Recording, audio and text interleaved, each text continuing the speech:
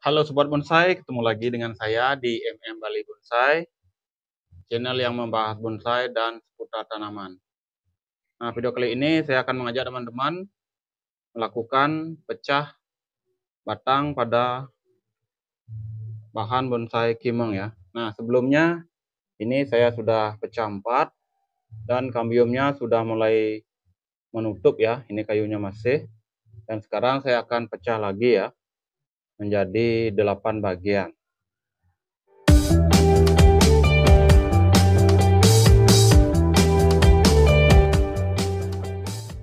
Kita akan bongkar ya medianya. Ini sudah cukup padat ya. Ya, kita lihat. Nah, kita akan lihat seperti apa akarnya. Nah, seperti ini ya. Wah, ini sudah akar. Nah, ini tatakannya dulu. Ini akarnya sudah lumayan banyak ya.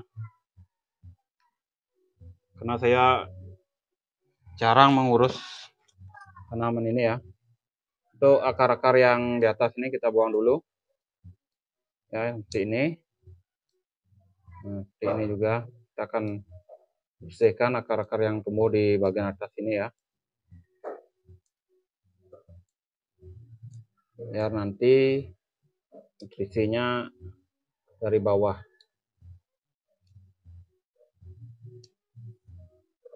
Ini pertumbuhannya cukup cepat ya. Nah, sekarang kita akan pecah lagi ya kita potongin sedikit akarnya ya yang agak agak panjang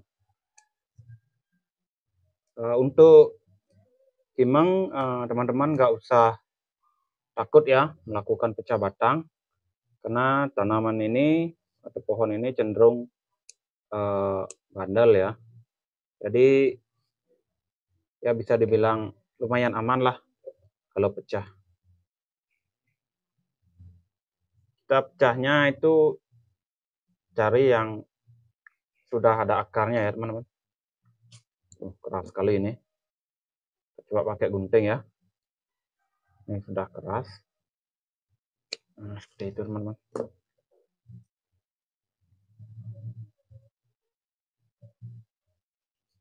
Hati ya. Untuk pecahnya nggak usah terlalu uh, di atas ya. Kita kita segini aja juga bisa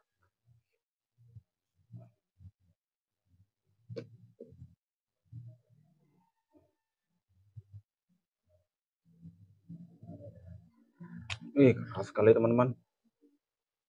Sudah batangnya sudah lumayan keras ya.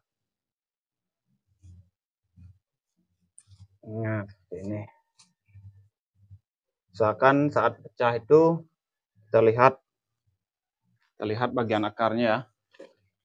Ya kedua sisinya itu dapat akar. Akar besar ya khususnya. Hmm, keras sekali.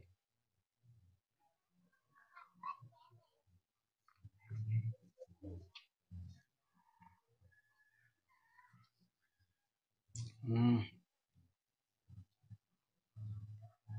Kalau tidak bisa sampai atas, jangan dipaksa, cukup segini nanti juga dia akan menutup sendiri ya.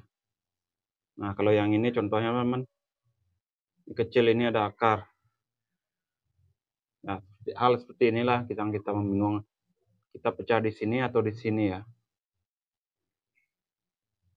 Coba kita pecah di sini ya.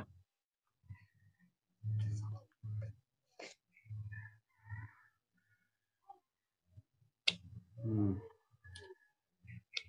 Besar teman-teman.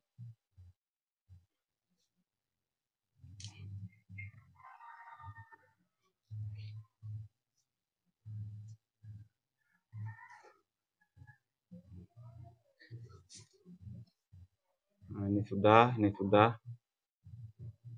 Sebenarnya ini masih bisa dipecah lagi, tapi saya akan biarkan ya. saya akan pecah jadi 8 dulu nah selanjutnya kita isi apa namanya penyekat ya biar nanti tidak kembali atau menyatu ya dengan bagian yang kita pecah.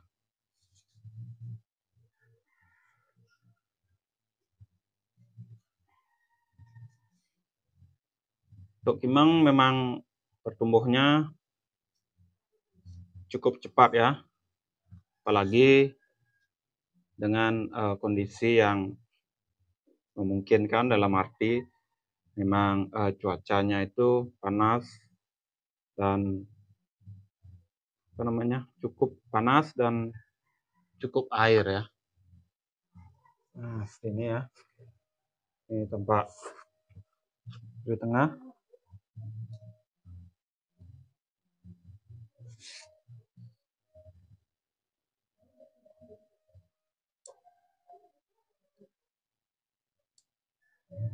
kita potongin sedikit ya akarnya atau juga nanti dia akan membesar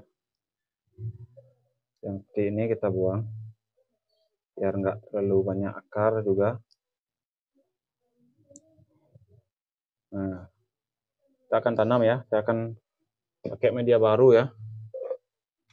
Saya akan pakai pot baru dan media baru ya.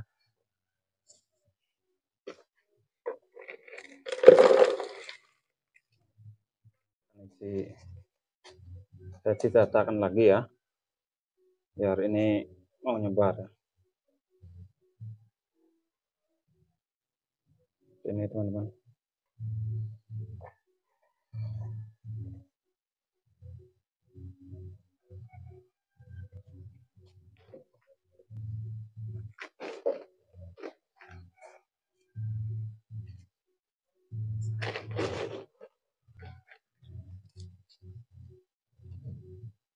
Nah, nanti kita tanam.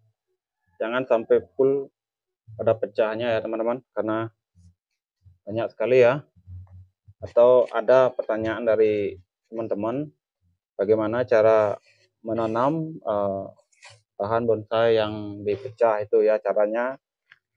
Uh, kita jangan terlalu menimbun terlalu banyak pada pecahan ini. Kenapa?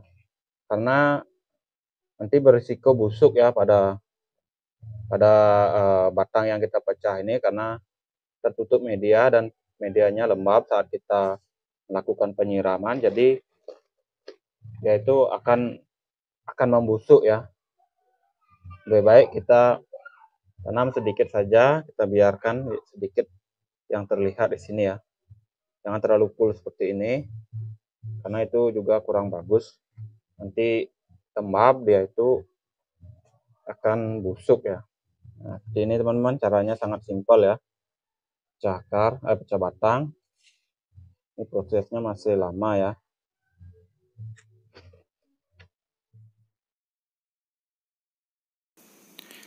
Nah, selanjutnya kita uh, pruning ya.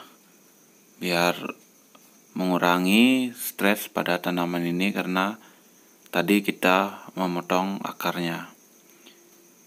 Dan setelah itu kita taruh di tempat yang teduh yang tidak terkena sinar matahari ya.